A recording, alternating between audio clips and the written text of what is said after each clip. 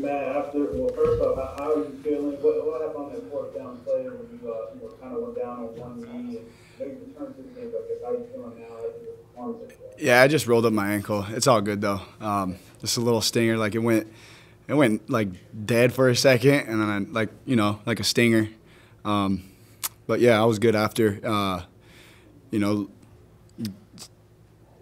bad to see what happened the, the play before because we, we were out the gate if we got it off. Uh, you know, just a different look that we didn't expect from up front wise. Um, but you know, it is what it is, and we got that all that all, we did all that matters, and that was win. Nick Suss. Matt, what did you say to your teammates during that 20-minute delay while, while the trash was coming down? Just how did you kind of keep your focus? Uh, it was just maintaining, uh, keeping the same thing, the same, uh, keeping the main thing the main thing. Uh, you know, you start to hear a little chatter and then just talk about random stuff after the game, and, and that kind of set me off. So I brought him back, and then we just started warming up, and then told him we just needed one first down. We didn't get it, unfortunately, but our defense came and helped us out. Did you get hit by anything? Excuse me? Did you get hit by anything?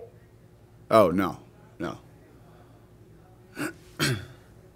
Joe Cook. Matt, with the performance you had, 30 carries, 195 rushing yards. I mean, with all the injuries you guys had, did you, at what point in the game did you know, like, okay, I'm the best option at running the rock, and I just have to, you know, get as many yards as I can? I talked to Kevin about you making it sliding a little bit more, but it seems like you say, hey, I got to get it done tonight. What was that like just running the ball? Um, you know, I, I tell myself that all the time to, to get down.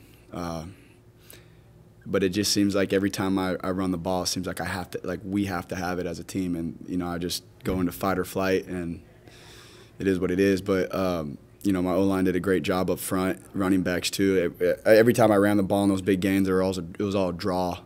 And uh, they started picking up on it and started going one blitz. Um, and we got out of it. But, you know, O line did a great job. Uh, you know, the, the receivers who who stepped up, who didn't usually get to play, who don't usually get to play um, a lot. You know, they got they got some playing time in. You know, Dannis Jackson, kid rarely sit, see the field, and he scores on a double move, and you know that's the type of stuff that we needed in a in an away game. Nick Suss. You said you didn't watch the last play last week. Did you watch it this time around? Nope. Couldn't. Kevin Smith's chest again, or where were you this time? I was in I was in Demarcus Lodge's chest.